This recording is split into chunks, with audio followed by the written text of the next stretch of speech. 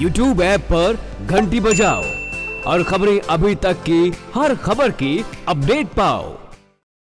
खबर फरीदाबाद से, जहाँ पर सेक्टर 10 के सरकारी स्कूल के में एसडीएम ने स्कूल के प्रधानाचार्य को जमकर फटकार लगाई। स्कूल में फैली गंदगी को देखकर एसडीएम भड़क उठे और एसडीएम ने स्कूल में काम करने वाले चपरासी को रिटायरमेंट लेने की नसीहत देते हुए कहा कि स्कूल प्रबंधकों को 24 घंटे के अंदर स्कूल की सफ़ाई व्यवस्था सुधारनी होगी। इस दौरान एसडीएम ने न सिर्फ़ प्रधानाचार्य को फटकार लगाई, बल्कि छात्रों की कॉपी चेक करने के बाद शिक्षकों को भी जमकर फटकार लगाई। इस दौरान एक छात्रा की तबियत बिगड़ने पर उसे प्राथमिक उपचार दिया गया।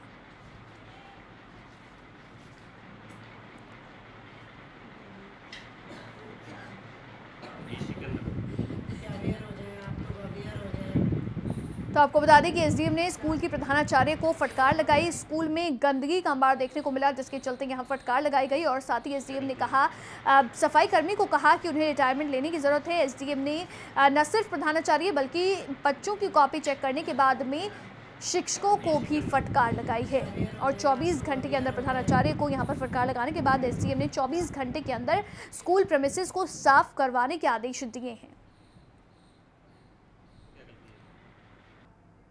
कि अपने बच्चे को सरकारी स्कूल में क्यों भेजें? जब प्राइवेट स्कूल है तो।